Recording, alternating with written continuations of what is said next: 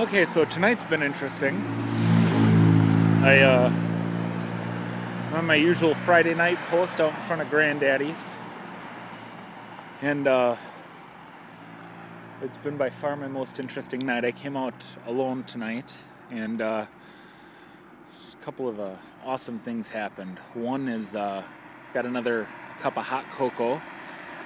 A young woman named Samantha stopped by and just brought it to me and said, Keep doing what you're doing and keep up the good work. And I asked her if she was a Christian. She said, Yes. And I said, Well, God bless you and thank you and appreciate the encouragement. And shortly after that, a couple of dancers came out and started to lewdly dance around me and wanted their, and they had a a guy with them taking video of it, so that'll probably pop up on YouTube or Facebook somewhere.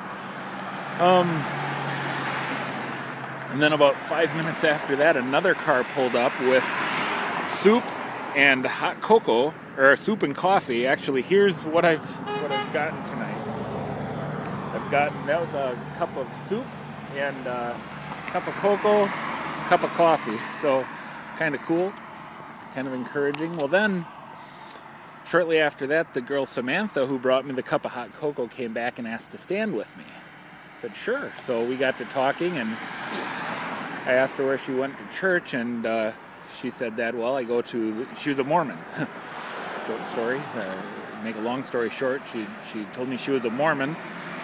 So, um, it's a little conflicted because I'm not a huge fan of ecumenism or co-belligerence and everything but i thought well this is certainly an, an opportunity. But she just went through a divorce and she started coming to highland and she said boy it's a big difference what goes on at highland compared to the mormon church. And she's going through a divorce and she's questioning a lot with mormonism and she came to mormonism. She wasn't raised in it. She came to it from um, missionaries coming to her house. So let that be a lesson that door knocking works and, uh, you know, if the, the cults are willing to do it for a lie, we as Christians ought to be willing to do it for the truth.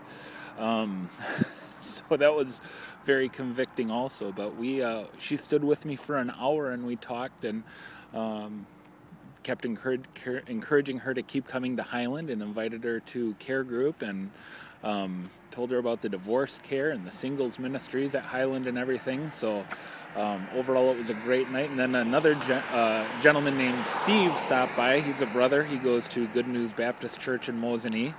And he just stopped by to give us encouragement and stood with us for about 10 or 15 minutes and um, shared his testimony. And we all exchanged email addresses and phone numbers. So it was a great night. And um, it's getting to be midnight here. And so I'm probably not going to be out here a whole lot longer. So, um, but it was just a very, very interesting night. Um, also, uh, the manager who's been coming out to talk to us week after week is actually he actually confessed tonight that he's the owner. He came out and talked to us again. His name is Jerry.